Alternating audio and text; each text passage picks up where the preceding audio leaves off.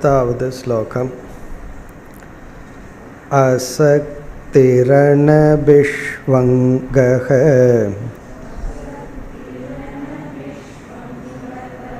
पुत्रदारगृहादिषु।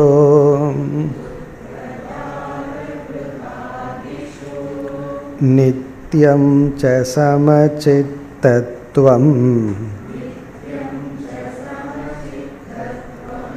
इष्टानिष्टोपपत्तिषु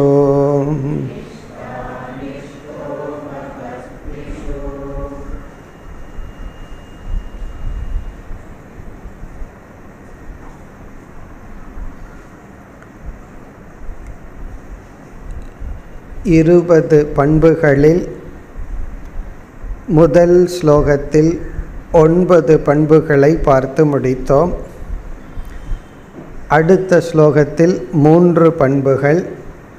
இந்திரியார்த்தேஷு வைராகியம். வைராகியம் என்கின்ற ஒரு குணம். அனகங்காரக. இந்த உடல் நான் என்கின்ற திருடமான புத்தியிலிருந்து விலகி இருத்தல்.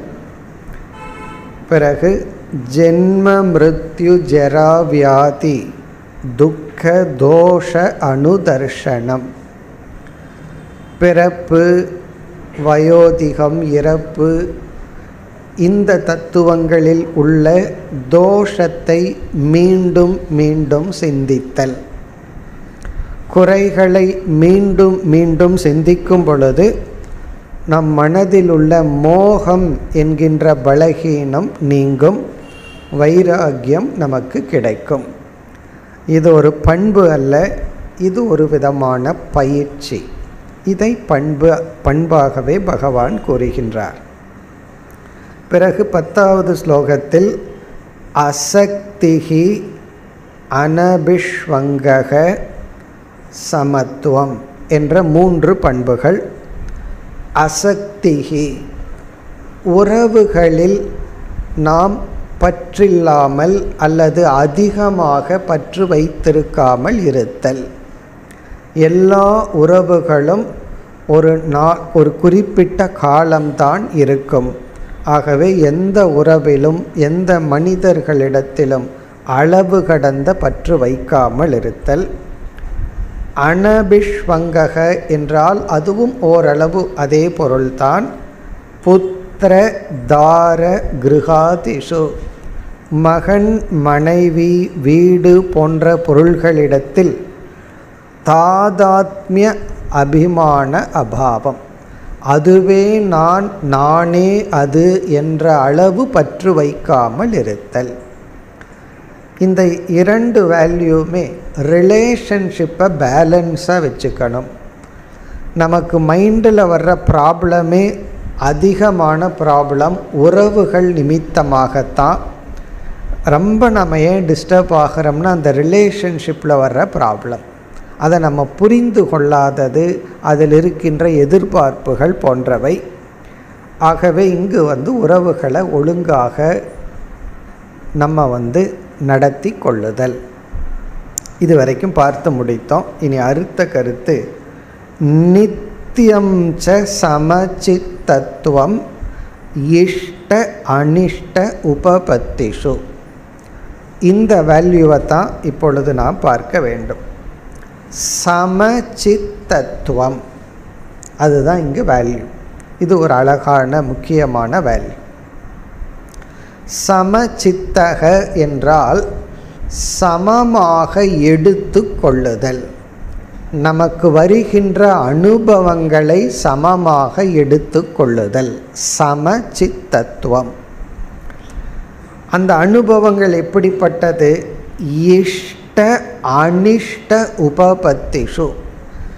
சிலதெல்லாம் நமக்கு இஷ்டமாக இருக்கும் சிலதெல்லாம் நமக்கு அனிஷ்டமாக இருக்கும். இஷ்டம் என்றால் நாம் விரும்பு ஏற்றுக்கொள்ளக்கூடிய அனுபவங்கள் அனிஷ்டம் என்றால் நாம் விரும்பாத அனுபவங்கள். நாம் விரும்பி சிலதெல்லாம் இருக்குது நாம் விரும்பாத சிலது இருக்குது இந்த இரண்டு அனுபவங்களையும் இஷ்ட அனிஷ்ட உபபத்தினா நம்மை வந்து அடையும் பொழுது சமச்சித்தத்துவம் சமமாக மனதிற்குள் எடுத்து கொள்ளுதல். நித்தியம் எப்பொழுதும். நித்தியம்னா எப்பொழுதுமே அதை சமமாக பாவித்தல். இதை பற்றிய விளக்கத்தை தான் நம்ம பார்க்க வேண்டும். கர்ம யோகத்தில் சமத்துவம் யோக உச்சதே என்ற ஒரு லட்சணத்தில் ஒரு கர்ம யோகமும் சமத்துவத்தில் தான் ஆரம்பம் ஆகின்றது. அங்கு குறிப்பாக நமக்கு எத்தனையோ கடமைகள் எல்லாம் இருக்கும். சில கடமைகளை செய்யறதுல ரொம்ப ஆர்வமாக இருக்கும். சில கடமைகள் செய்கிறதுல நமக்கு விருப்பமே இருக்காது. அப்போ வந்து பகவான் என்ன சொல்கிறார் உனக்கு கடமை என்று வந்துவிட்டால் விருப்பமான டியூட்டியை நல்லா செஞ்சுட்டு விருப்பம் இல்லாத கடமையை விட்டு விடாதே அது கடமைன்னு வந்தால் சமத்துவம். உனக்கு விருப்பம் இருந்தாலும் சரி விருப்பம் இல்லை என்றாலும் சரி அதை சமமாக எடுத்துக்கொண்டு செய்ய வேண்டும்னு சொன்னார். இப்போ இந்த இடத்துல ரிசல்ட் பலன் எனக்கு சில அனுபவங்கள் வருகின்றது. அதில் சில அனுபவங்களை நான் விரும்பி எடுத்துக்கொள்கின்றேன். சில அனுபவங்களை நான் விரும்புவதில்லை. இப்போ யாராவது நம்ம வந்து புகழ்ந்தா எப்படி இருக்கும்? யாராவது நம்ம இகழ்ந்தால் எப்படி இருக்கும்? அல்லது குறை சொன்னால் எப்படி இருக்கும்? இப்போ இந்த இரண்டு அனுபவங்களில் ஒன்று என் மனசு விரும்புது ஒன்று என் மனது விரும்பவில்லை. இப்போ இந்த இடத்துல ஒரு வேல்யூவை சொல்கிறார் பகவான் சமத்துவம் சமச்சித்தத்துவம். இந்த இரண்டையும் நீ சமமாக எடுத்து பழக வேண்டும். இந்த ப்ராக்டிஸ் நம்ம செய்யும் பொழுது நம்ம இந்த வேல்யூவை ஃபாலோ பண்ணுறோம் இது நம்மளுடைய சொரூபமாக எப்பொழுது மாறும்னா ஞான நிஷ்டை அடையும் பொழுது நம்ம ஞானத்தை அடையும் பொழுது இது வந்து ஒரு சுவாவமாக மாறும். சமமாக எடுத்து கொள்வோம். அதனால தான் இந்த சமத்துவங்கிறத கர்மயோகத்தினுடைய லட்சணமாகவும் ஒரு இடையில் ஒரு வேல்யூ ப்ராக்டிஸ் பண்ண வேண்டிய ஒரு வேல்யூவாகவும் பிறகு இதுவே ஞான பலனாகவும் சொல்லப்பட்டுள்ளது. ஞான பலன் என்னன்னா உன் மனசில் உனக்கு சமத்துவம் கிடைச்சிடும் உனக்கு எப்படிப்பட்ட அனுபவங்கள் வந்தாலும் உன்னால் சமமாக இருக்க முடியும்.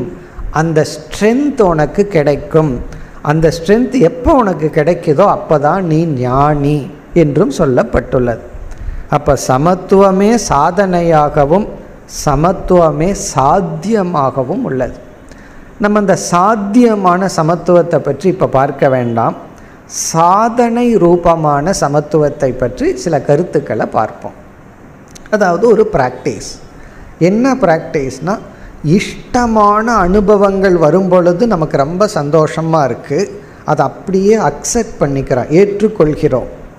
அது சில சமயம் பொய்யாக இருந்தாலும் சிலதுக்கெல்லாம் நமக்கு தகுதியே இருக்காது. யாராவது நம்மை வந்து தகுதி இல்லாமல் புகழ்ந்தாலும் அதை அக்செப்ட் பண்ணிக்கிறோம் பரவாயில்ல அப்படின்னு சொல்லி. ஆனால் யாராவது நம்மிடத்தில் ஒரு குறை சொன்னால் நம்மால் அதை ஏற்றுக்கொள்ள முடிவதில்லை. உடனே ஜஸ்டிஃபிகேஷன் வருது. அதை நம்ம ரிஜெக்ட் பண்ணுறோம் அப்படி பல லெவலில் நமக்கு இஷ்ட அனிஷ்டம் இருக்குது இப்போ உடல் இருக்குது ஸ்தூல உடலுக்கு வந்து ஆரோக்கியம் வந்தால் நம்ம ஏற்றுக்கொள்கிறோம் அதுக்கு நோயின்னு ஒன்று வந்தால் அதை நம்மால் ஏற்றுக்கொள்ள முடிவதில்லை. அப்படி ஸ்தூல உடலில் இஷ்ட அனிஷ்ட உபபத்தி இருக்குது அதே போல் சூக்ஷ்மமான மனது இருக்கே எமோஷ்னல் மைண்டில் இஷ்ட அனிஷ்டம் இருக்குது நம்மை விரும்புபவர்களும் நம்மை விரும்புனா நல்லா இருக்குது நம்மை விரும்புபவர்கள் நம்மை வெறுத்து ஒதுக்கினால் அது அனிஷ்டமாக இருக்குது இப்போ எமோஷ்னல் லெவலில் நமக்கு வந்து இஷ்ட அனிஷ்ட அனுபவங்கள் வருகின்றது. அதே போல் இன்டலெக்சுவல் லெவல்லையும் புத்தி லெவல்லையும் மானம் அபமானம் சிலது நமக்கு புரிஞ்சிட்டா சந்தோஷமாக இருக்குது சிலது புரியலினா கஷ்டமாக இருக்குது இப்படி வந்து நம்முடைய அனாத்மாவில் ஒவ்வொரு லேயர்லையும் நமக்கு இஷ்ட அனிஷ்டங்கள் எல்லாம் வந்து கொண்டு இருக்கின்றது இப்போ அந்த அனுபவங்கள் வரும் பொழுது பகவான் நமக்கு கொடுக்கிற வேல்யூ என்ன என்றால் அதை வந்து நீ சமமாக எடுத்து பழகு. அந்த இஷ்டத்தையும் அனுஷ்டத்தையும் நீ விரும்புவதையும் விரும்பாததையும் ஒரு மனசு விரும்புதல் விரும்பலாம் விரும்பாமல் இருக்கலாம். பட் ஆழ்ந்த மனதில் அதை அக்செப்ட் பண்ணிக்கோ ஏற்றுக்கொள் சமமாக எடுத்துக்கொள். இப்போ நம்ம இனி அடுத்து பார்க்க வேண்டித்தது அப்படி சமமாக எடுக்கணும்னா எனக்கு என்ன ஒரு நாலேஜ் வேணும்? எந்த கிரவுண்ட் எந்த அடிப்படையில் அதை நான் சமமாக எடுத்துக்கணும்? இப்போ வந்து நமக்குள்ள வேற்றுமையெல்லாம் இருக்குது என்னுடைய ஊர் இது உங்கள் ஊர் இதுன்னு. நம்மெல்லாம் தமிழ்நாட்டில் பிறந்தவர்கள் அல்லது இந்தியாவில் பிறந்தவர்கள் ஒரு கிரவுண்ட் எடுத்துட்டோம்னா நம்மெல்லாம் ஒன்றாயிடுறோம் ஏன்னா எல்லாத்துக்கும் ஒரே சிட்டிசன்ஷிப் இருக்குது அப்படி. அப்போ ஏதோ ஒரு பெரிய கிரவுண்டின் அடிப்படையில் தானே இந்த இரண்டு ஆப்போசிட் வேற்றுமைகளை ஒன்றாக்க முடியும். இப்போ அது என்ன என்று இப்பொழுது நம்ம பார்க்கணும். இப்போ அந்த திங்கிங்னுடைய ஹெல்ப்பில் நம்ம சமமாக எடுத்து பழக வேண்டும். என்னதான் திங்கிங் பண்ணினாலும் சில வருஷங்கள் எடுத்துக்கும் அந்த ப்ராக்டிஸுக்கு கொண்டு வந்து அந்த சமத்துவத்துக்கு வருவதற்கு. இப்போ அது என்னவென்றால் இந்த மனித உடல் நமக்கு ஏன் கிடைச்சது அப்படின்னு சாஸ்திரத்தினுடைய அடிப்படையில் பார்த்தோம்னா ஓரளவு பாப புண்ணியங்கள் சமமாக இருந்தால் ஒரு ஜீவனுக்கு மனித சரீரம் கிடைக்கிறது. புண்ணியம் அதிகமாக இருந்ததுன்னா தேவர்களுடைய உடல் போன்றவைகள். பாப்பம் மிக அதிகமாக இருந்தால் மரம் செடி மிருகங்கள் போன்ற உடல். அப்போ மனித சரீரம் நமக்கு ஏன் கிடைச்சது அப்படின்னாங்கிறது எதை நிரூபிக்கிறது என்றால் நாம் செய்து வைத்த பாப புண்ணியங்களில் ஒரு செட் ஆஃப் பாப புண்ணியங்கள். அதை பிராரப்தம்னு சொல்கிறோம் அது சமமான பாப புண்ணியங்கள் வெளிப்பட்டதனால் நமக்கு மனித சரீரம் கிடைச்சிருக்கு. அப்பொழுது என்ன ஆகும்னா மனித சரீரத்தை எடுத்த நாம் பாபம் புண்ணியம் இந்த இரண்டும் நமக்கு சுகம் துக்கம் என்ற அனுபவத்தை கொடுத்து தான் தீரும். பாபங்கிறது வந்து சுகமா துக்கமான அனுபவத்தை சூழ்நிலையை கொடுக்கணும். புண்ணியம் வந்து நம்ம விரும்புகிறோமோ இல்லையோ சுகமான சூழ்நிலையை கொடுத்தாக வேண்டும். அப்போ அது வந்து இந்த இரண்டையும் கொடுத்துட்டு தான் போயாகணும் நாமளோ இரண்டினுடைய ஓரளவு சமமான சேர்க்கையில் பிறந்திருக்கிறோம்.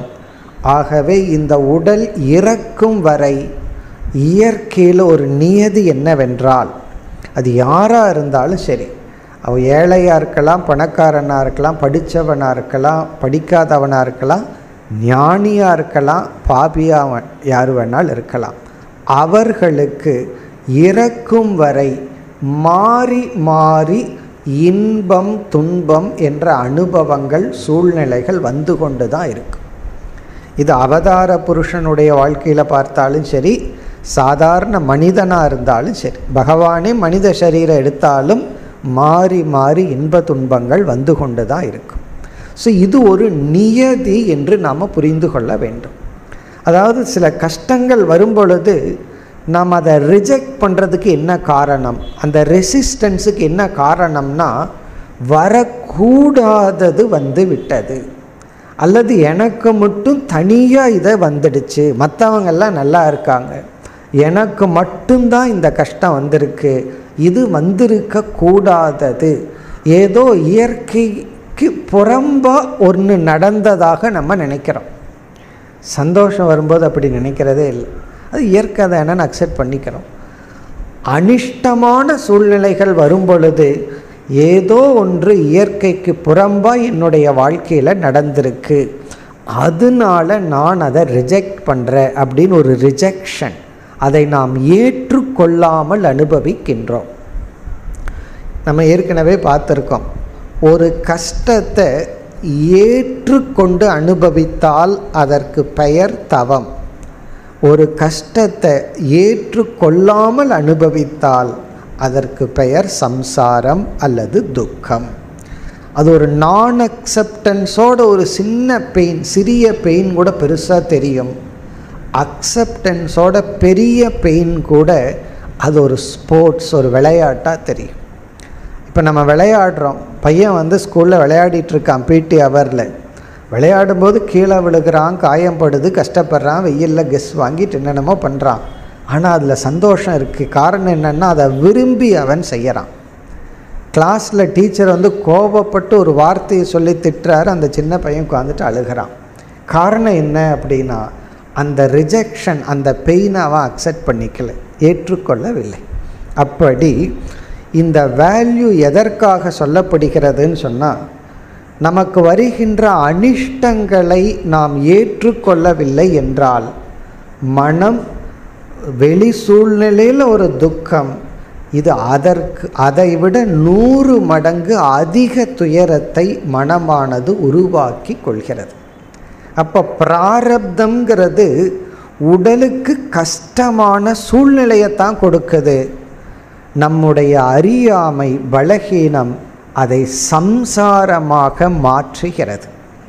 அந்த கஷ்டத்தையே தவமாக எடுத்துட்டோம் அப்படின்னா அது சம்சாரம் அல்ல.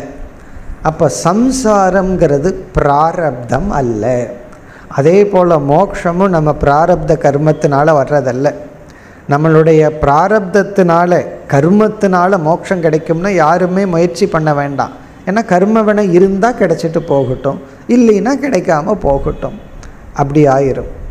அதே போல் சம்சாரம்ங்கிறதும் பிராரப்தம் அல்ல பிராரப்தம்ங்கிறது இந்த சரீரம் கிடைச்ச கர்மத்துக்கான கர்மம்.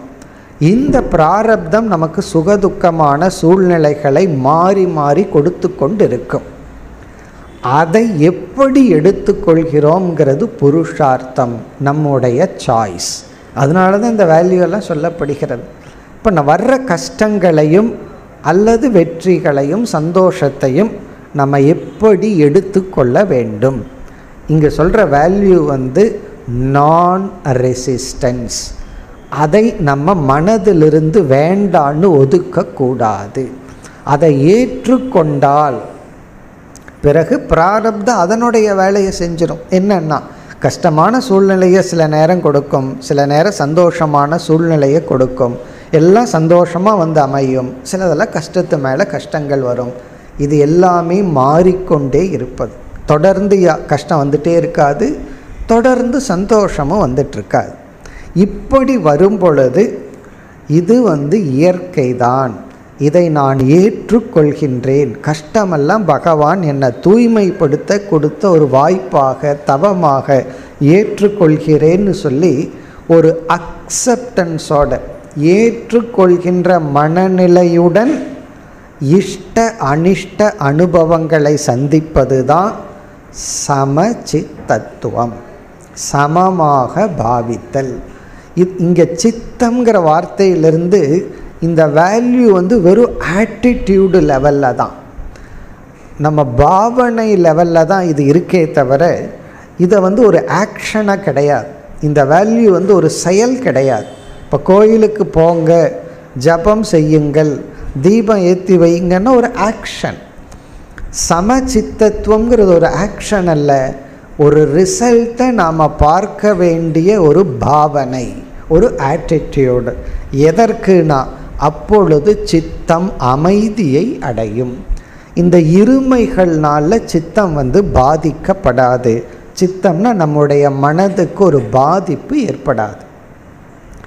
காரணம் என்னவென்றால் நம்ம சமமாக எடுத்துக்கொள்ளவில்லை என்றால் சப்போஸ் நமக்கு வந்து ஒரு கஷ்டம் வருது அதை நம்ம அக்செப்ட் பண்ணி ஏற்றுக்கொள்ளவில்லை என்றால் என்ன ஆகும்னா அந்த கஷ்டத்தை யார் இன்ஸ்ட்ருமெண்ட்னு பார்ப்போம். யார் மூலமாக அந்த கஷ்டம் வருதுன்னு பார்ப்போம். அவர்கள் மீது ஒரு பெரிய வெறுப்பானது மனசில் உண்டாகும். அந்த வெறுப்பு வந்து பழி வாங்கிற செயலாக உருவாகிவிடும்.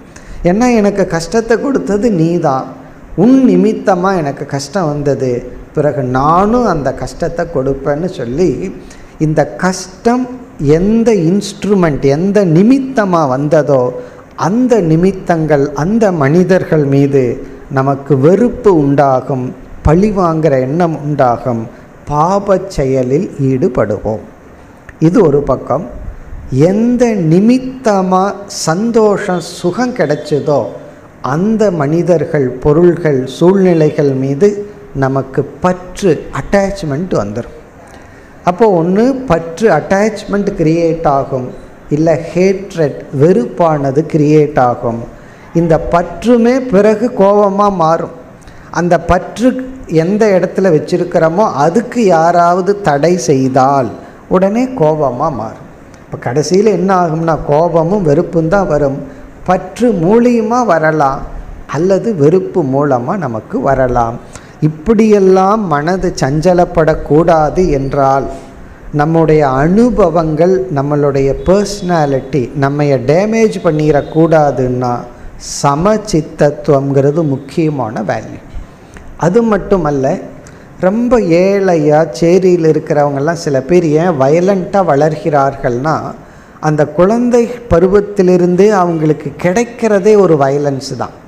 அம்மா அப்பா சண்டை போட்டுட்டு இருக்கிறத பார்க்குறான். அப்பா குடிச்சிட்டு வந்து அம்மா கிட்ட பேசுகிறத பார்க்குறான் அடிக்கிறத பார்க்குறான்.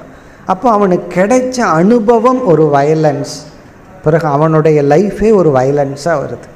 நம்ம சொசைட்டியில் எப்படி நம்ம வளர்கிறோம் அப்படிங்கிறது நமக்கு கிடைச்ச அனுபவங்களை பொறுத்து இருக்குது அது மேலோட்டமாக சொன்னால் இன்னும் கொஞ்சம் சட்டிலாக சூக்ஷ்மமாக சொல்லணும்னா அந்த அனுபவங்களை நம்ம எப்படி பொருள்படுத்தி இருக்கிறோங்கிற அடிப்படையில் தான் நம்மளுடைய பர்சனாலிட்டியே உருவாகின்றது. நாம் எப்படி வளர்கின்றோம்? நாம் யார்? நம்ம மனசு எப்படிப்பட்ட தன்மையுடன் உள்ளது? அப்படிங்கிறது நம்ம அனுபவத்தை நம்ம இன்டர்பிரட் பண்ண விதத்தின் அடிப்படையில் தான். ஆகவே நமக்குள்ள ஒரு வயலண்ட் பர்சன் வரக்கூடாது. அல்லது டிபெண்ட் பர்சன் வரக்கூடாது. டிபெண்ட் பர்சன் சார்ந்திருப்பவன் அடிமையாகி இருக்கிறவன் யார்னா இஷ்டத்தை கொடுக்கின்ற பொருள்கள் கொடுக்கின்ற மனிதர்களிடத்தில் அடிமையாகுதல். அனிஷ்டத்தை கொடுக்கின்ற பொருள்கள் மனிதர்களிடத்தில் வெறுப்பை வளர்த்தி கொள்ளுதல். இப்போ ஒரு இடத்துல நம்ம டிபெண்ட் பண்ணுறோம் நாம் வந்து சுதந்திரத்தை இழந்து அடிமைப்படுகின்றோம். ஒரு இடத்துல வெறுப்பையும் கோபத்தையும் வளர்த்தி கொள்கின்றோம். இந்த பர்சனாலிட்டி உள்ளே வர்றதுக்கு காரணம் விஷம சித்தத்துவம். இது வரக்கூடாதுன்னா இங்கே பகவான் சொல்கிற வேல்யூ சம சித்தத்துவம் சமமாக எடுத்து கொள்ளுதல். இதை எப்படி பார்க்கணும்னா அறிவுபூர்வமாக இந்த மனித உடலை எடுத்த ஜீவனாகிய எனக்கு என்னதான் கேர்ஃபுல்லாக இருந்தாலும் எப்படித்தான் இருந்தாலும் இன்ப துன்ப சூழ்நிலைகள் மாறி மாறி வரும். எவ்வளவு தான் ஆசனம் பண்ணி எக்ஸசைஸ் பண்ணாலும் பகவான் உடலில் நோயின்னு ஒன்று வச்சுருக்கார். சில சமயங்களில் ஒரு எக்ஸசைஸோ ஓவராக பண்ணாலே ஒரு நோய் வந்துடும் அதனால் வந்து நம்ம என்ன தான் தலைகீழாக நின்னாலும் நோய் அப்படிங்கிறது உடலுக்கு வர்ற மாதிரி தான் உடலை பகவான் படைச்சிருக்கார். அதனால தான் நான் ஒரு எக்ஸசைஸ் பண்ணுறது இல்லைன்னு சொல்லிடக்கூடாது. நோய் வர்றதுனா எப்படியும் வரத்தேன போகுதுன்னு நம்ம சொல்லக்கூடாது. நம்ம செய்கிற முயற்சியை பண்ணுறோம் ஆனால் இயற்கை அப்படின்னா நமக்கு இன்ப துன்ப சூழ்நிலைகள் வரும். கஷ்டமான சில சூழ்நிலைகள் வரும். ஆனால் அது தொடராது. என்ன? பிராரப்த இனியொரு பிராரப்தம் என்ன பண்ணும்? சந்தோஷமான சூழ்நிலையை கொடுக்கும். இந்த இரண்டிலும் ராகத்வேஷத்தை வராமல் பாதுகாத்து கொள்ள வேண்டும். விருப்பு வெறுப்பு மேலோட்டமாக இருக்கலாம் கொஞ்சம் இருக்கலாம். ஆனால் ஆழ்ந்த மனதுக்குள்ள ஒரு விருப்பு வெறுப்பை உருவாக்காமல் நம்மை பாதுகாக்க வேண்டுமென்றால் இந்த வேல்யூ நித்தியம் எப்பொழுதும் சம சித்தத்துவம் இதை பின்பற்ற வேண்டும். நம்ம வந்து ஏன் இதை பின்பற்றணும் இதை பின்பற்றலைன்னா என்ன விளைவு வரும் அதை நம்ம பார்த்துட்டோம். இனி அடுத்து ஒரு கருத்து இந்த வேல்யூவில் பார்க்க வேண்டியது இந்த சமத்துவம் நான் வந்து அதை அக்செப்ட் பண்ணிக்கிறேன் ஏற்றுக்கொள்கின்றேன் அதை அப்படியே சமமாக பாவிக்கின்றேன். இஷ்டத்தையும் அனிஷ்டத்தையும் சமமாக நான் எடுத்துக்கிறேன். ஒரு சாதாரண அனுபவமாக எடுத்துட்டு மனதிற்குள்ளே வந்து பெரிய அளவில் விருப்பு வெறுப்பை உருவாக்காமல் பார்த்துக்கொள்கிறேங்கிற வேல்யூவை நம்ம எந்த ஸ்டேஜில் பின்பற்ற வேண்டும்? அதுவும் ரொம்ப முக்கியம். இந்த அக்செப்டன்ஸ் ஏற்றுக்கொள்ளுதல்ங்கிற பண்பை வந்து முயற்சிக்கு பிறகு தான் இதை ஃபாலோ பண்ணணும். இப்போ ஒரு அனிஷ்டமான கஷ்டமான ஒரு சூழ்நிலை வருது. இப்போ உடலுக்கு ஒரு சிறிய நோய் வருது. உடனே எடுத்த ஃபஸ்ட்டு ஸ்டேஜ்லேயே இந்த வேல்யூவை ஃபாலோ பண்ணக்கூடாது. நான் ஏற்றுக்கிறேன் அதனால் டாக்டர்கிட்டையும் போகலை ட்ரீட்மெண்ட்டும் பண்ணலை பேசாமல் ஏற்றுட்டு இருக்கிறேன் அப்படின்னு சொல்லக்கூடாது. ஒரு அனிஷ்டமான சூழ்நிலை வந்தால் அதை நீக்குவதற்கு எவ்வளவு முயற்சி செய்யணுமோ அந்த எஃபர்ட்டை நம்ம போடணும். அதற்கு பிறகு தான் இந்த வேல்யூவை ஃபாலோ பண்ணணும். இப்போ இந்த அக்செப்டன்ஸ் ஏற்றுக்கொள்ளுதல் சமமாக எடுத்துக்கொள்ளுதல் அப்படிங்கிற பண்பை வந்து முயற்சிக்கு பிறகு பின்பற்ற வேண்டிய ஒரு வேல்யூ முயற்சிக்கு முன்னாடியே இதை பின்பற்றக்கூடாது. சில வேல்யூவை எப்போ பின்பற்றணுமோ அப்போ பின்பற்றினா தான் அது வேல்யூ. அப்படி இல்லைன்னா அது வேல்யூ அல்ல அது அசுரர்களுடைய குணம் அல்லது அது தமோ குணம் ஆகிவிடும். அதனால் நமக்கு ஒரு கஷ்டம்னு ஒன்று வந்தால் யாராவது நம்மையை பற்றி தவறாக பேசிக்கிறார்கள் நம்ம அட்வான்டேஜ் எடுத்துக்கிறாங்க அப்படின்னா அதையெல்லாம் நீக்கிறதுக்கு என்ன எஃபர்ட் எடுக்கணுமோ எடுக்கணும். நம்முடைய முயற்சிக்கு பிறகு பலன் என்று வரும் பொழுது தான் நமக்கு சாய்ஸ் இல்லை. எங்கே சாய்ஸ் இருக்கோ அங்கே அந்த சாய்ஸை நம்ம பயன்படுத்தணும். எங்கே அந்த சாய்ஸ் நம்மை விட்டு போய் விடுகிறதோ அப்பொழுது தான் நம்ம இந்த வேல்யூவை பின்பற்றணும். அப்போ ஏற்றுக்கொள்ளுதல்ங்கிற ஒரு வேல்யூ சமமாக அனுபவங்களை எடுத்துக்கொள்ளுதல்ங்கிறது அந்த அனுபவங்கிற ரிசல்ட் வர்றதுக்கு முன்னாடி நாம் வந்து நல்லது இஷ்டமான ஒன்று வருவதற்கு என்ன முயற்சி இருக்கோ அதை செஞ்சிடணும். செஞ்சதற்கு பிறகு தான் இந்த வேல்யூவை பின்பற்றணும். இல்லை என்றால் இது ஒரு வேல்யூவாக இருக்காது. அதனால் இந்த ஏற்றுக்கொள்ளுதல் சமத்துவம் இதை எந்த ஸ்டேஜில் பின்பற்றணுங்கிறது முக்கியம். இப்போ இந்த வேல்யூ நமக்கு என்ன பண்ணோம்னா சாந்தமான மனதை கொடுக்கும் ஒரு நல்ல பர்சனாலிட்டியை நமக்குள்ளே உருவாக்கு. இல்லை என்றால் இப்போ சில அனிஷ்டமான அனுபவங்கள் வந்தால் நம்ம பர்சனாலிட்டி நம்மளுடைய குணம் நம்மளுடைய கேரக்டர் நம்மளுடைய தன்மைகளே ஒரு டேமேஜான பர்சனாக உருவாக்குவோம். அப்படி இல்லை என்றால் ஒரு ஒரு ஒரு ஸ்பிளிட் இல்லாத ஒரு கம்ப்ளீட் பர்சனாலிட்டியை நம்ம உருவாக்குவோம். அதனால் இந்த வேல்யூம் மிக முக்கியமான பண்பு. ஞான பலனாகவும் இதே வேல்யூ தான் சொல்லப்படுது. அதாவது ஞானம் வந்துடுதுன்னா இவன் சமமாக இருப்பான். எல்லோரையும் சமமாக பார்ப்பான்.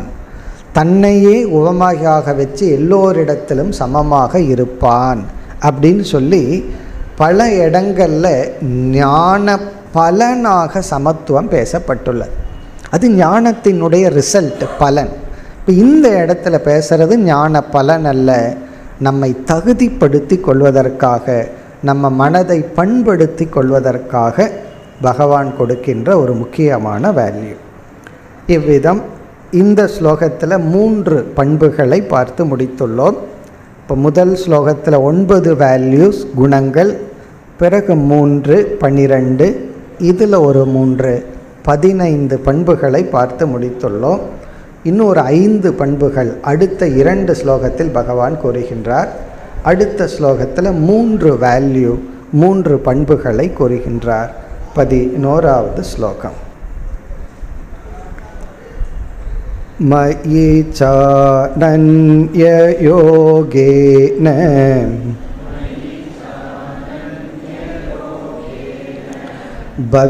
तेरौ व्यभिचारिणी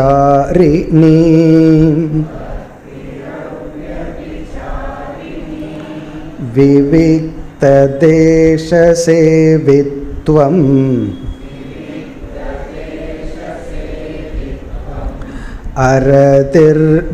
अरतिर्जनसंसती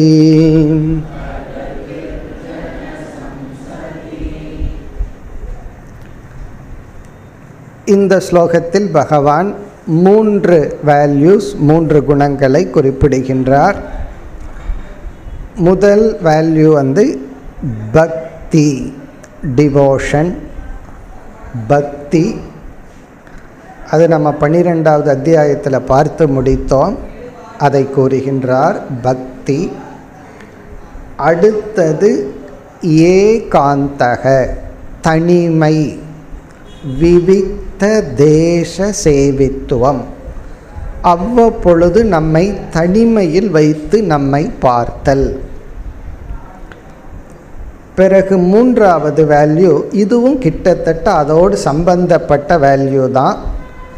எப்பொழுதுமே ஜன கூட்டங்களில் இருந்து மகிழ்ந்திருக்கின்ற மனதை விட்டு ஜன கூட்டத்திலிருந்து சற்று விலகி இருத்தல். இந்த புகழ் போன்றவற்றிலிருந்து நம்மை விலக்கி கொள்ளுதல். இதுவும் ஒரு விதத்தில் தனிமையை பற்றி தான் சொல்கின்றார். இனி நம்ம ஒவ்வொன்றாக பார்ப்போம். இப்போ முதல் வேல்யூ இந்த ஸ்லோகத்தில் வந்து பக்தி என்ன சொல்கின்றார்? மயி அனன்ய யோகேன அவ்வெபிச்சாரிணி பக்திஹி. பக்திஹி அதுதான் வேல்யூ பக்தி யாரிடத்தில் மயி ஈஸ்வரனாகிய இறைவனாகிய என்னிடத்தில். பக்தின்னு சொல்லிட்டு உடனே யாரிடத்தில்ங்கிறதுக்கு பதில் சொல்கிறார் பிறகு அந்த பக்திக்கு இரண்டு சொற்களால் அடைமொழியும் கொடுக்கிறார். நமக்கு வந்து பக்தியை பற்றி ஒரு அத்தியாயத்தில் முழுமையாக படித்து முடித்தோம் பன்னிரெண்டாவது அத்தியாயத்தில் தான் பக்தினா என்னன்னு பார்த்து முடித்தோம். அதையெல்லாம் நம்ம ஞாபகம் வைத்து கொள்வது தான் இந்த இடத்துல வேல்யூ நமக்கு. பிறகு ஏழாவது அத்தியாயத்திலேயே நம்ம பார்க்க ஆரம்பித்தோம் ஏழுலேருந்து வரிசையாக பக்தியை பற்றியே பார்த்துட்டு பன்னிரெண்டில் பக்தியினுடைய கல்மினேஷனாக பார்த்து முடித்தோம். இப்போ சுருக்கமாக இப்போ நம்ம ஞாபகப்படுத்தி கொள்கிறோம் இப்போ பக்தி என்பதுக்கு நம்ம என்ன லட்சணம் பார்த்தோம்? நம் மனதில் உள்ள அன்புங்கிற உணர்வு இறைவனிடத்தில் செலுத்தப்பட்டால் அதற்கு பக்தி என்று பெயர். இதை நம்ம பலமுறை திரும்ப திரும்ப சொல்கிறதுக்கு காரணம் இந்த லட்சணம் மனசில் பதியணுங்கிறதுக்காகத்தான். இந்த அன்புங்கிற உணர்வு நமக்குள்ளே இருக்குது அது ஒரு பொருள் இடத்துல வச்சோம்னா பற்றுன்னு சொல்கிறோம் உறவினர்கள் இடத்துல வச்சா பாசம்னு சொல்கிறோம் மனித இனம்னு பொதுவாக வச்சா அது கருணை அப்படின்னெல்லாம் சொல்கிறோம் அதே இது மேலான ஒரு பொருளிடத்தில் வச்சால் அது பக்தி. அது இறைவனிடத்தில் வச்சா ஈஸ்வர பக்திங்கிறோம். குருவிடத்தில் வச்சா குரு பக்தின்னு சொல்கிறோம் பிறகு தேசத்தில் வச்சா தேசபக்தின்னு சொல்கிறோம் நம்ம வீட்டு மேலே வச்சிருக்கிற அன்பையெல்லாம் தேசபக்தின்னு சொல்ல முடியாது. கிரக பக்தின்னெல்லாம் சொல்ல முடியாது. அது பற்று. ஏன்னா அது என் வீடுங்கிறதுனால நான் வச்சிருக்கிற அட்டாச்மெண்ட் அது என்னுடைய வீடுங்கிறதுக்கு அப்பாற்பட்டு இந்த நாடில் நான் பிறந்தேன் அப்படின்னு ஒரு கிராட்டிடியூட் ஒரு நன்றி உணர்வுடன் இந்த நாட்டின் மீது நம்ம செலுத்தினா அன்பு செலுத்தினால் அதை தேசபக்திங்கிறோம். அப்படி மயி என்றால் இறைவனிடத்தில் நாம் செலுத்துகின்ற அன்பு பிறகு ஏழாவது அத்தியாயத்தில் பகவான் பக்தர்களை எல்லாம் லிஸ்ட்டில் பிரித்தார் ஆர்த்தோ அர்த்தார்த்தி ஜிக்ஞாசு ஞானின்னு சொல்லி. அதில் வந்து யார் என்னை நினச்சி என் மீது அன்பு செலுத்தினாலும் அவங்கள நான் ஃபஸ்ட்டு பக்தன்னு அக்செப்ட் பண்ணிக்கிறேன்னு பரந்த மனப்பான்மையில் பகவான் சொல்லிட்டார். ஆர்த்தகங்கிறது யாருன்னா கஷ்டம் வரும்போது மட்டும்தான் என்னை நினைப்பான். அவன் என்னை மறக்கணும்னா அவனுக்கு கஷ்டம் போகணும். அப்போ அவன் அவன் என்னை நினைக்கணும்னா நான் என்ன பண்ணணும்னா ஒரு கஷ்டத்தை கொடுக்கணும். அப்போ என்னை நினைப்பான். கஷ்டம் போகணுன்னா என்னையும் விட்டுருவான் அர்த்தார்த்தினா செல்வமெல்லாம் வேணும்னு அவனுக்கு ஆசை வரும்போது என்னை நினைப்பான். அதுக்காகத்தான் என்னை வழிபடுவான். அப்போ அவனை பொறுத்த வரைக்கும் நான் ஒரு இன்ஸ்ட்ருமெண்ட் ஏதோ ஒன்று அடைவதற்கு என்னை கருவியாக பயன்படுத்துகிறான் பகவான் சொல்கிறார் இருந்தாலும் நான் அவர்களை ஏற்றுக்கொள்கிறேன். அவங்கள அந்த லெவலில் நான் ஏற்றுக்கொள்கிறேன்னு சொன்னார். அப்படி இங்கு வந்து அந்த பக்தியினுடைய லட்சணத்தை சொல்கிறார் எப்படிப்பட்ட பக்தி ஒரு சாதகன் எடுத்துக்கொள்ள வேண்டும்? ஆர்த்த பக்தியோ அர்த்தார்த்தி பக்தியோ இருக்கக்கூடாது. ஏன்னா அது என்ன அப்படின்னா பகவான் ஒரு இன்ஸ்ட்ருமெண்ட்டாக பயன்படுத்துகிறோம் அவ்வளவுதான். அது ஒருவனுக்கு நன்மையை அல்லது ஸ்ரேயஸை தராது. அதனால் இங்கே எப்படிப்பட்ட பக்தி ஒரு வேல்யூ அப்படின்னு சொல்கிறார் அதுவும் பக்தி தான். அந்த பக்தி வழியாக ஒருவன் வந்து இந்த பக்திக்கு வரணும்னு சொல்கிறார் அங்கு பார்த்த மூன்றாவது பக்தி ஜிக்ஞாசு பக்தின்னு பார்த்தோம். அதாவது இறைவனை அடைய அல்லது மன தூய்மையை அடைய இறைவனிடத்தில் அன்பு செலுத்துதல். அதைத்தான் இங்கே சொல்கின்றார். எப்படிப்பட்ட பக்தி? அனன்ய யோகேன பக்தி அவ்வெபிச்சாரிணி பக்தி. இப்போ அனன்ய யோகேன என்றால் வேறு ஒன்றில் நம்பிக்கை இல்லாமல் ஈஸ்வரனையே முழுமையாக நம்பிதல். இப்போ பகவான் இடத்துல இருக்கிற நம்பிக்கை இருக்கே அனன்ய யோகேன வேறு இடத்துல இங்கே யோகம் அப்படின்னு சொன்னால் செக்யூரிட்டி சேஃப்டி அனன்ய யோகம்னா பகவான் ஒருவர் தான் அப்படின்னு சொல்லி பகவானிடத்தில் முழுமையாக நம்புதல். முழுமையாக பகவானிடத்தில் வச்சிருக்கிற ஸ்ரத்தை. நம்ம எல்லாத்துக்கும் ஸ்டாண்ட் பை வச்சுருப்போம். பகவான்கிட்டையும் போய் பார்ப்போம். இதையும் பண்ணி பார்ப்போம். எது நடக்குதோ அது நடக்கட்டும். ரெண்டு மூணு வச்சுருப்போமல்ல அப்படி பகவானை சில பேர் ஸ்டாண்ட் பையாக வச்சுருப்பாங்க. அதை போய் பார்ப்போமே. பகவான் கொடுத்தா கொடுக்கட்டும். இல்லை அப்படின்னா நம்மளும் வேறு சோர்ஸ்லையும் முயற்சி பண்ணுவோம். சில பேர் ரெண்டு மூணு பேர்த்துக்கிட்ட ரெக்கமெண்டேஷனுக்கு போவாங்க. யாருக்கிட்ட கிளிக் ஆகுதோ ஆகட்டும்னு சொல்லி. அது என்னன்னா அந்நிய யோக அந்நிய யோகன்னா வேறு மார்க்கம். அதாவது எனக்கு சித்த சுத்திக்கும் மன தூய்மைக்கும் நான் வேறு மார்க்கத்தை எடுத்துக்கிறேன். பகவானே ஒன்றா வச்சுக்கிற அவரும் வந்து பண்ணிட்டு போகட்டுமே. அப்படி இல்லாமல் அனன்ய யோகேன. பகவான் தான் எனக்கு மன தூய்மையை கொடுக்க முடியும். பகவானுடைய அனுகிரகத்தினால தான் நான் மாயையை கடக்க முடியும். பகவானுடைய அனுகிரகத்தினால தான் நான் தூய்மையாக முடியும்னு சொல்லி அந்த ஒரு நம்பிக்கையுடன் வேறு யோகத்தில் நம்பிக்கையை இல்லாமல் அந்த பக்தி பகவான் மீது நமக்கு இருக்கின்ற ஒரு நம்பிக்கை. அது பகவானிடத்தில் மட்டும்தான். பகவானுடைய அனுகிரகத்தினால தான் நான் மாயை கடக்க முடியுங்கிற ஒரு நம்பிக்கையுடன் அவ்வெபிச்சாரிணி என்றால் மாறாத பக்தி. எந்த ஒரு கஷ்டமும் நஷ்டமும் அந்த பக்தியை சோதிச்சிடக்கூடாது பகவான் வந்து பக்தனை சோதிப்பார். ஆனால் அந்த பக்தனுக்கு வந்து அந்த பக்தி வந்து அதிகரிக்கணுமே தவிர மாறிவிடக்கூடாது அவ்வெபிச்சாரிணி வெபிச்சாரிணி என்றால் மாறிக்கொண்டே இருத்தல். இந்த சமஸ்கிருத சொல் வெபிச்சரணம் அப்படின்னா மாறுகிறதுன்னு அர்த்தம். அவ்வெபிச்சா அவ்வெபிச்சரணம் அப்படின்னா மாறாத கான்ஸ்டண்ட்டாக பகவானிடத்திலேயே வைக்கின்ற நம்பிக்கை. அப்படி எந்த ஒரு இஷ்ட தேவதையை எடுத்துட்டோமோ அந்த இஷ்ட தேவதையிடம் இருக்கின் மாறாத நம்பிக்கை. ஏன்னா சில சமயங்களில் சில அனுபவங்கள் அந்த பக்தியை மாற்றி விடலாம். அந்த ஸ்ரத்தையை அது உடைத்து விடலாம்.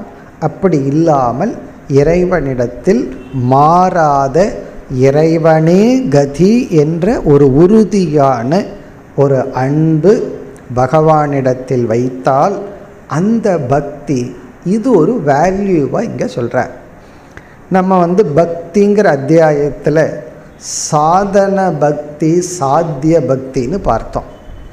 அதாவது சாதன பக்தினா பக்தி என்பதை சாதனையாக வைற்றுக்கொண்டு நம்ம வந்து சாதனைகளில் மற்ற சாதனைகளில் ஈடுபடுதல்.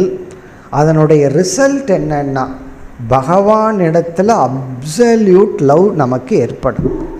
அந்த சாத்திய பக்தி அப்படின்னா நம்மையை நம்ம நேசித்ததற்கு பிறகு தான் மற்றதையெல்லாம் நேசிக்க முடியும். ஆத்மனஸ்து காமாய சர்வம் பிரியம் பவதின்னு உபனிஷத் சொல்லும். நீ வந்து உன்னை நேசித்ததுக்கு பிறகு தான் மற்ற எல்லாத்தையும் நேசிக்க முடியும். நீ மற்றதையெல்லாம் நேசிக்கிறதுக்கு என்ன காரணம்னா அது உன்னோடு சம்பந்தப்பட்டதனால். அது உனக்கு சந்தோஷத்தை கொடுக்கறதுனால தான் அதனால் நான் என்னுடைய உயிருக்கு மேலே வேறொரு மனிதரையோ பொருளையோ நேசிக்கிறேன்னு சொல்கிறதெல்லாம் அது வெறும் டைலாக் தான். உண்மை என்னன்னா உன்னை நேசித்ததுக்கு பிறகு தான் மற்றவங்களை நேசிக்க முடியும். கடவுள் விஷயத்துலேயும் அதுதான். என்ன நான் நேசித்ததுக்கு பிறகு தான் பகவானை நேசிக்க முடியும். பிறகு நான் என்ன நேசிக்கிறது எந்த அளவோ அதே அளவு பகவானை நேசிக்கிறேன்னா அது எப்போ நடக்கும்னா அந்த பகவான் ஆத்மாவிலிருந்து வேறில்லைன்னு புரிந்து கொள்ளும் பொழுதுதான். அந்த ஈஸ்வரனும் ஆத்மாவும் ஒன்று நானும் ஒன்றுன்னு உணரும் பொழுது பிறகு அந்த டிவிஷன் போயிடுது என்ன நான் நேசிக்கிறதும் பகவானை நான் நேசிக்கிறதும் ஒன்றுதான். அது வந்து சாத்திய பக்தி. அது வந்து அடைய வேண்டிய பக்தி. பிறகு இனி ஒரு கருத்து நம்ம ஞாபகப்படுத்தி கொள்ள வேண்டும். ஒரு சாதகன் ஆரம்ப காலத்திலிருந்து இந்த அத்வைத ஞானத்தை அடையும் வரை சில சாதனைகள் மாறிக்கொண்டே இருக்கும். முதல்ல கர்மயோகம் பண்ணுவான் அப்புறம் தியானம் பண்ணுவான் பொறுப்புகளை எடுத்துக்கொள்வான் அப்புறம் பொறுப்புகளை விடுவான் இப்படி எத்தனையோ சாதனைகள் மாறிட்டே போகும். ஈவன் நம்ம மெடிடேஷன்லேயே எத்தனையோ ஸ்டேஜஸ் இருக்குது ஆரம்பத்தில் ரிலாக்ஸ் பண்ணுற மெடிடேஷனை பண்ணுவோம். பிறகு அது நமக்கு சுபாவமான உடனே ஒரு சில நிமிடத்தில் ரிலாக்ஸ் பண்ணிவிட்டு ஜபத்துக்கு போயிடுவோம் பிறகு ஜபத்திலிருந்து கொஞ்சம் வேல்யூவை பற்றி திங்க் பண்ணுவோம். ஈஸ்வரன் அறிவை திங்க் பண்ணுவோம். இப்படியெல்லாம் மாறிட்டே இருக்கும். ஆனால் இந்த பக்திங்கிறது தான் ஃபஸ்ட்டு ஸ்டாண்டர்டிலிருந்து நிதித்தியாசன காலம் வரை தொடர வேண்டிய ஒரு சாதனை. இந்த பக்திங்கிறது நமக்கு இல்லை என்றால் நம்மால் சாதனையை தொடர முடியாது. அந்த அன்புங்கிறது தான் பெட்ரோல் மாதிரி. அதுதான் நம்மை அழைச்சிட்டு போகணும். அதுதான் ஃபியூவல் நம்மளுடைய பயணத்திற்கு. அது மட்டும் அல்லாமல் நம்மளுடைய எமோஷ்னல் மெச்சூரிட்டி உணர்வு பூர்வமாக நம்ம எத்தனையோ இடத்துல காயப்பட்டிருப்போம். அது என்னதான் சாஸ்திரத்தில் பேசினாலும் அந்த காயமெல்லாம் பக்தியில் தான் ஆறும். எத்தனையோ பேர் நம்மை புண்படுத்தி இருப்பார்கள். எத்தனையோ விதமான அன்புகளை நம்ம இழந்திருப்போம். அந்த இழந்த அன்பு புண்பட்ட மனமெல்லாம் இந்த பக்திங்கிற ஒரு உணர்வுனால தான் அது வந்து ஆற்றப்படும்.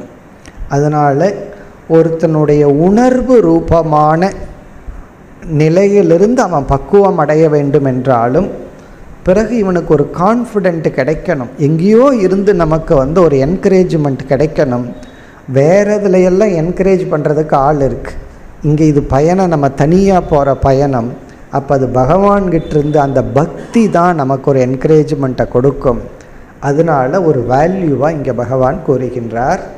மயி என்னிடத்தில் அனன்ய யோகேன பணம் புகழ் மற்ற மனிதர்கள் இதெல்லாம் என்னை காப்பாற்றாது. என்னை பகவான் தான் காப்பாற்றுவார். பகவான்கிற ஒன்று தான் எனக்கு சரணம்ங்கிற ஒரு நம்பிக்கையுடன் உறுதியுடன் எந்த சூழ்நிலையிலும் பிளவுபடாத மாறாத அவ்வபிச்சாரிணி பக்திகி. இனி அடுத்த வேல்யூக்கு போவோம். இரண்டாவது வரியில் விவிக்த தேச சேவித்துவம். சேவித்துவம் என்றால் எடுத்து கொள்ளுதல் டேக்கிங் சேவ் சேவித்துவம். எடுத்து கொள்ளுதல். எதை எடுத்து கொள்ளுதல்? விவிக்த தேசக. தேசகன இடம். விவிக்தம் என்றால் தனிமையான. விவிக்தம்னா தனிமையான. தனிமையான இடத்தை எடுத்து கொள்ளுதல்.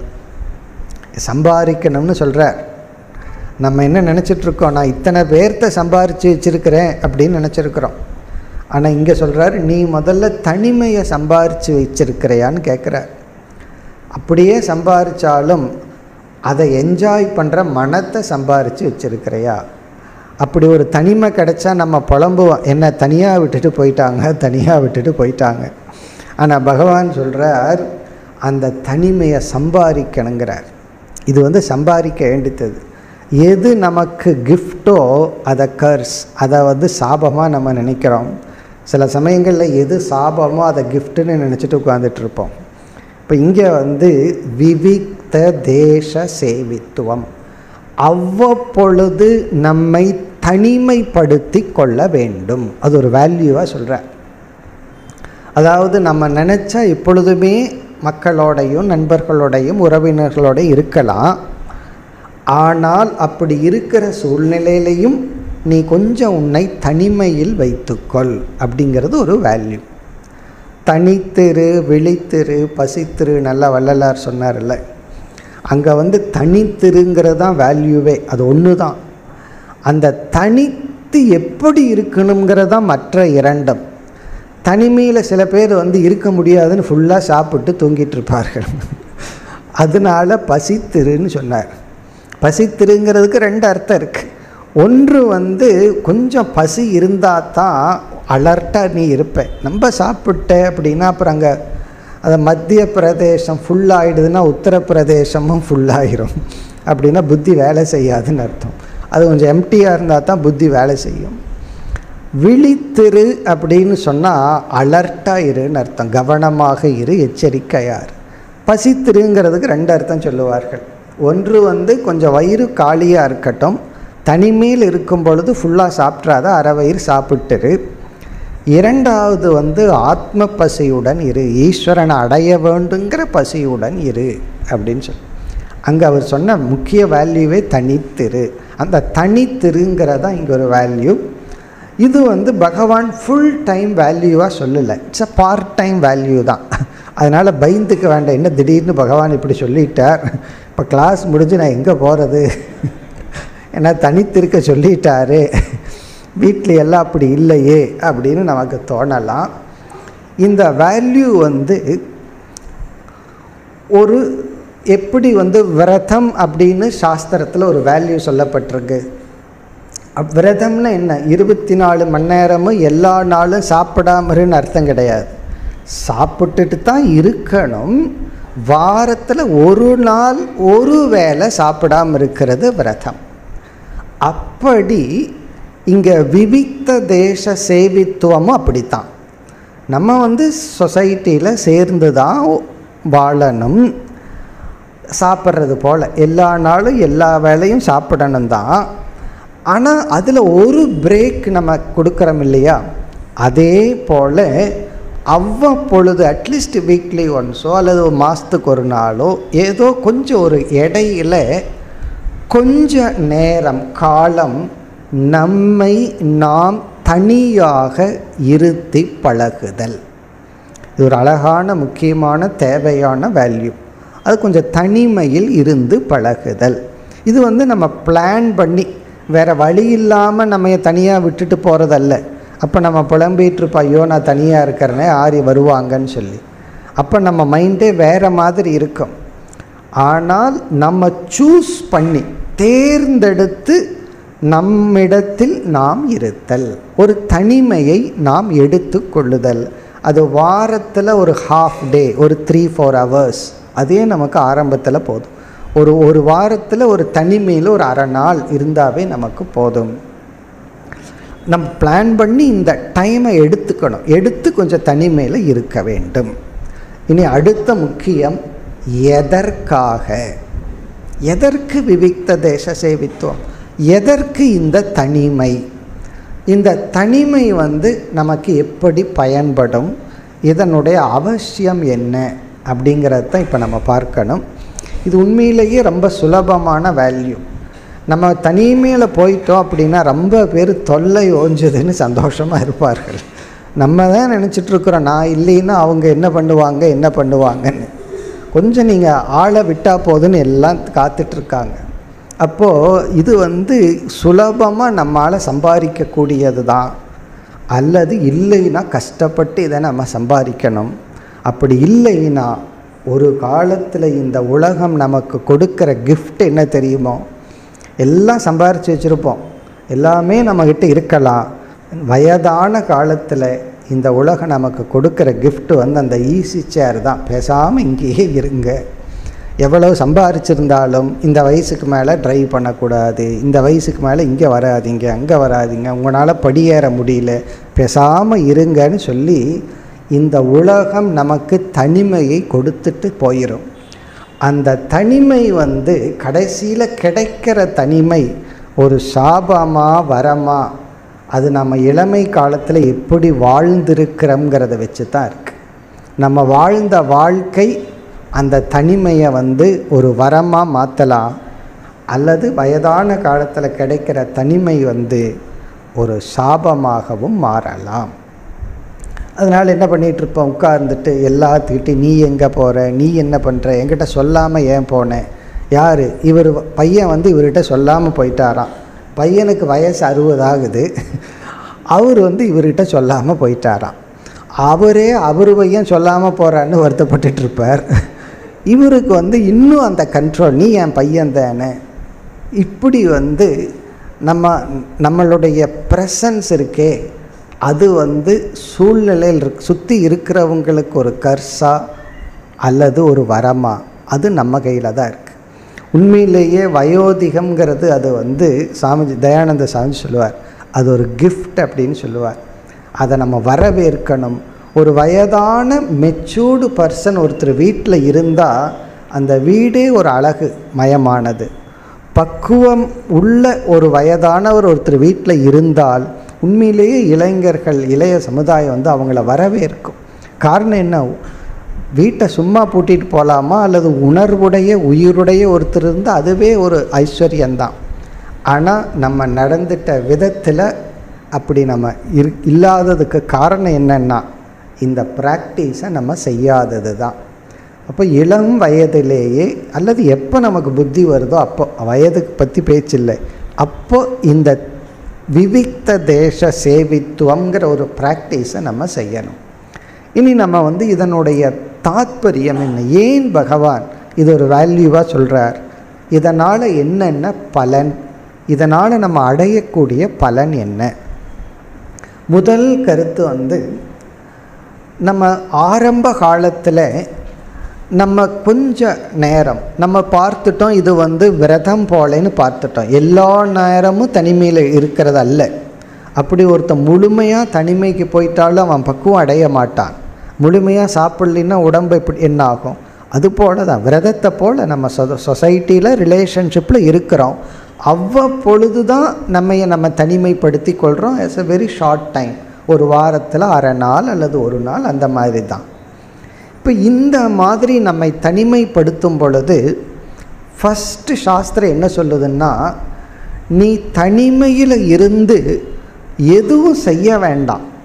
ஃபஸ்ட்டு ஒன்னால் சந்தோஷமாக இருக்க முடிஞ்சால் அதுவே லட்சியம். ஃபஸ்ட்டு ஏகாந்தம் ஏவ சாத்தியம். பிறகு நீங்கள் தனிமையிலிருந்து என்ன பண்ணுறீங்கன்னு கேட்கவே வேண்டாம். தனிமையில் இருக்க முடிந்தால் அதுவே ஒரு லட்சியம். அது அந்த நேரத்தில் ஆரம்பத்தில் நம்ம என்ன பண்ணாலும் சரி தூங்கிட்டு இருந்தாலும் சரி என்னால் வேறு மனிதர்கள் இல்லாமல் தனிமையில் ஒரு ஹாஃப் டே சந்தோஷமாக ச இருக்க முடிந்தால் அதுவே ஒரு சாத்தியம்.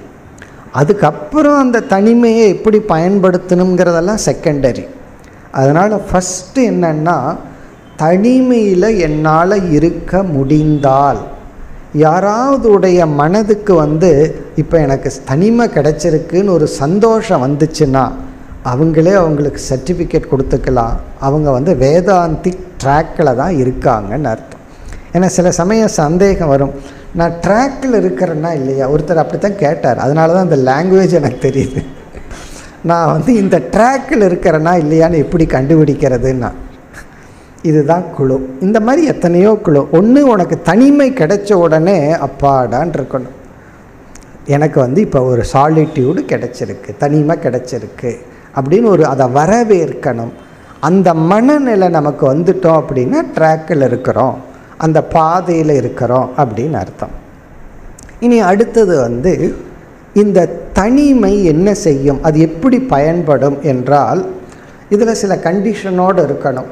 இந்த தனிமையில் கொஞ்சம் பசி இருக்கணும் தூங்கிட்டு இருக்கக்கூடாது அப்படி தூங்கிறதுன்னு சொன்னால் எல்லாமே தூங்கும்போது தனியாக தானே தூங்குறார்கள்.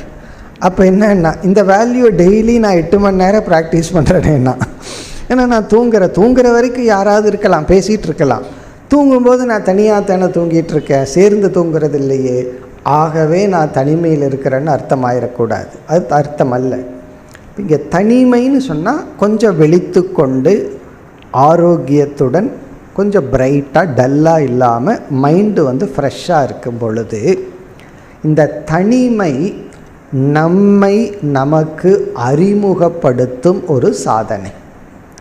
நம்ம வந்து எத்தனையோ பேர்த்துக்கிட்ட அறிமுகமாகிறோம் எத்தனையோ பேர்த்த எத்தனையோ பேர்த்துக்கு இன்ட்ரடியூஸ் பண்ணி வைக்கிறோம். நம்மை நமக்கு யார் இன்ட்ரடியூஸ் பண்ணி வைக்கிறது? தேவைப்படுது. ஏன்னா நமக்கே நம்மளுடைய ஸ்டேட்டஸ் தெரியல. நான் வந்து எப்படிப்பட்டவனாக இருக்கிறேன்? என்னையே நான் அறியாதவனாக இருக்கின்றேன். இல்லையே நான் கண்ணாடியில் தான் நான் டெய்லியும் பார்த்துட்ருக்கேன். என்னை நான் அறிகிறேன்னா கண்ணாடி வந்து நம்முடைய ஸ்தூலமான பர்சனாலிட்டியை காட்டி கொடுக்கும். தனிமை நம்முடைய சூக்ஷ்மமான பர்சனாலிட்டியை காட்டி கொடுக்கும். நம்ம மனசை நம்ம காட்டுற கண்ணாடி தான் சாலிட்யூட் இந்த தனிமையில் தான் நம்முடைய மனதை நாம் பார்க்கின்றோம். மற்ற நேரத்தில் என்ன ஆகுதுன்னா நம்முடைய மனதின் மூலமாக உலகை பார்க்கின்றோம்.